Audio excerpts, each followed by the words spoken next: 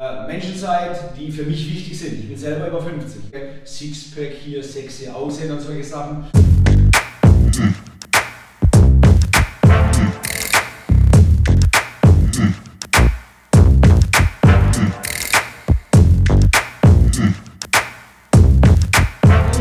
und herzlich willkommen, Freunde over 50. Wieder für euch heute was. Warum für euch?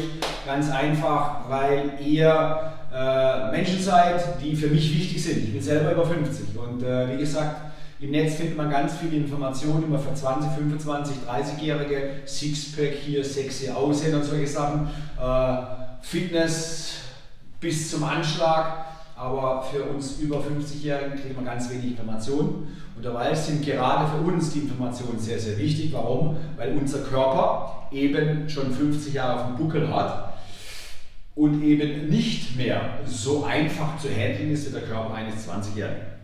Wir brauchen länger, bis wir regenerieren. Wenn wir Gewicht reduzieren wollen, brauchen wir länger, bis das Gewicht nach unten sich orientiert. Es ist alles ein wenig mühsam. Das ist einfach das Alter, macht nichts, ist so. Das müssen wir so akzeptieren.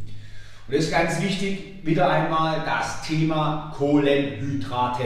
So, wenn ich Ernährungsprotokolle bekomme, Querschnitt. Ich habe also in der Regel zwischen über 30-Jährige, 40, 50 teilweise über 60-Jährige, wenn ich Ernährungsprotokolle bekomme, dann gucke ich mir ein Ernährungsprotokoll an und stelle bei dem größten Anteil aller fest, dass der Anteil der Energiemenge, das heißt die Gesamtenergie, wenn Sie jetzt zum Beispiel 2500 Kalorien essen, also pass auf, ich schmal es euch mal dahin. So, wir haben hier einen großen Kuchen, ja? So, und wenn dieser Kuchen insgesamt 2500 Kalorien beinhaltet, 2500 Kilokalorien. So, das ist die Energie, die in Form von Essen zugeführt wird. So, dann sieht es bei den meisten so aus, dass, Achtung, ungefähr, wenn das die Hälfte ist, ja, das ist die Hälfte des Kuchens, dann mache ich jetzt hier nochmal den Anteil ran, zwischen 60 und 70 Prozent. Also das, was ich jetzt rot male, das, was ich jetzt rot male hier, zwischen 60 und 70 Prozent dieser 2500 Kalorien kommen aus dem Bereich der Kohlenhydrate. Das sind Energielieferanten in Form von Brot, Nudeln, Kartoffeln, Reis, Bier, Alkohol, Süßigkeiten, süßen Stückchen, Obst und so weiter. Kommt ungefähr 60 bis 70 Prozent aller Energielieferanten kommen aus dem Bereich der Kohlenhydrate. So, Anteil Fett ist bei vielen Menschen relativ klein, mit maximal 20 bis 30 Prozent. Der andere Anteil, 20 bis 30 Prozent, je nachdem, ist der Proteinanteil. Diese Menschen weisen aber oftmals, sehr oftmals, deswegen kommen sie auch, Übergewicht auf. Und zwar Männer mit Körperfettwerten über 20 Prozent, Frauen mit Körperfettwerten über 30, 35, teilweise über 40 Prozent. Wenn ich aber dann die Gesamtkalorienzahl angucke, dann ist bei vielen Menschen, sind sie anhand von dem Grundbedarf, das heißt die Energie, was sie brauchen, wenn sie 8 Stunden schlafen, 16 Stunden wach sind, Leistungsbedarf eben oder Arbeitsbedarf, also ihr Arbeit, ihr Job noch frisst und wenn sie überhaupt Sport machen, noch der Leistungsumsatz. Sind die trotzdem nicht überkalorisch, die ernähren sich nicht überkalorisch.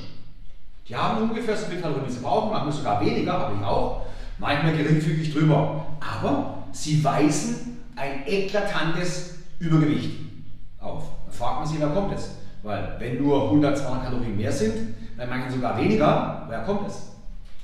Das ist mitbegründet hier in diesem Bereich, weil der größte Anteil aller Energielieferanten kommen aus dem Bereich der Kohlenhydrate und dazu sind es oft auch noch Kohlenhydrate, passt auf,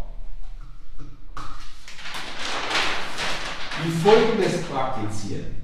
So, wir haben hier wieder einmal meine berühmte Kurve.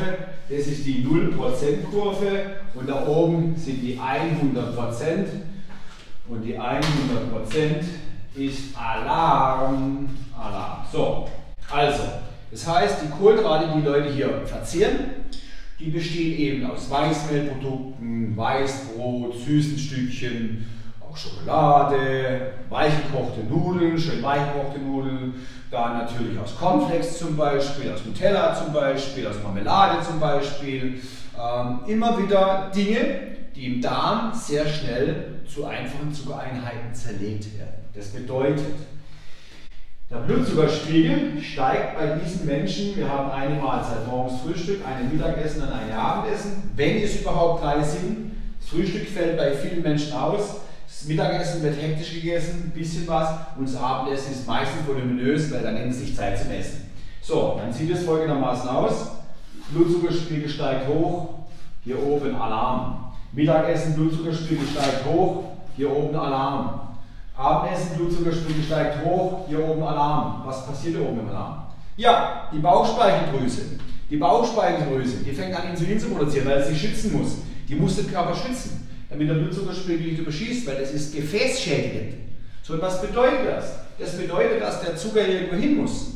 Ja, aber wenn wir den Zucker nicht brauchen, die Energie, was passiert? Wir arbeiten ja nicht körperlich, die meisten auf jeden Fall nicht schwer körperlich. Also muss der Zucker irgendwie hinkommen. So, da haben wir natürlich zwei Lager. Das muskuläre Glykogenlager, das heißt, im Muskel kann der Körper Zucker einlagern und der Leber. So, da wir aber meistens eben nicht körperlich arbeiten, sind diese Speicher oftmals voll. Da geht nichts mehr rein, die Tür ist zu. Also muss der Körper natürlich das irgendwo hinbringen und da haben wir das Problem, dass dann die Kohlenhydrate, die Zuckerlast umgewandelt wird in Fetten. Die werden als Fette eingelagert. So, dann haben wir ein Problem. Genau, deswegen müssen wir über 50 einmal natürlich schon darauf achten, inwieweit wir überhaupt Energielieferanten zuführen. Also Gesamtkalorienmenge natürlich muss im Auge behalten werden. Dann sollten wir auch im Auge behalten, wie viel prozentual davon Energielieferanten sind in Form von Kohlenhydraten. Und wir sollen darauf achten, aus was diese Kohlenhydrate bestehen, was der Ursprung. So, und da ist ganz wichtig folgendes. Hier unten, das ist meine immer grob schematisch, so bezeichne ich die, meine 20% liegen. Das bedeutet, wenn der Blutzuckerspiegel hier unten, gesundes Frühstück, gesundes Mittagessen, gesundes Abendessen, wenn der Blutzuckerspiegel immer hier unten in diesem Bereich, dieser 20er Linie, dann haben wir in der Regel keine Probleme. Dann haben wir in der Regel keine Gewichtsprobleme, da haben wir in der Regel sogar einen Vorteil, wenn wir strukturiert so arbeiten, dass wir auf an Gewicht verlieren. Obwohl wir die fast ähnliche Kalorienmenge zuführen, aber eben nicht mit dieser hohen Zuckerlast, eben nicht mit diesem hohen glykämischen Index. Das schreibe ich noch rein. In der Beschreibung findet ihr noch die Argumentierung zum Thema glykämische Last, glykämischer Index. Das findet ihr nochmal, die Erklärung dazu. Und schon läuft das alles ganz anders. So, was will ich euch damit sagen? Freunde, passt einfach auf, welche Menge Kohlenhydrate ihr esst, wie viel ihr esst, klar. Aber die Art, dass eben so wenig wie möglich Weißbrot ist, so wenig wie möglich Toast, so wenig wie möglich Cornflakes, so wenig wie möglich Süßigkeiten, süße Stückchen, weiße Brötchen, diese Sachen, zu viel Nudeln, zu viel weicher Reis, weiß, also überhaupt Reis, wo weich gekocht ist, sondern mehr Vollkornsachen, wenn er sie verträgt, Vollkornbrot, gutes Vollkornbrot ohne Zucker, Dinkelnudeln, solche Dinge, die dafür sorgen, dass der Blutzuckerspiegel langsam ansteigt. Das einmal im Auge behalten. Dann bitte im Auge behalten, dass sie natürlich eben regelmäßig isst. Ganz wichtig. Das sind diese Faktoren, die dazu beitragen, dass wir uns wohlfühlen, dass wir fit sind, dass wir Power haben und dass wir natürlich auch unsere Fettmasse reduzieren können. Deswegen, Freunde, habt ein Auge darauf, welche Art von Kohlenhydraten ihr zuführt. Ja, ich weiß, es ist natürlich auch wichtig, Protein und Fett, Fette und so weiter, aber im Moment spiegelt sich für mich, für mich das so dar.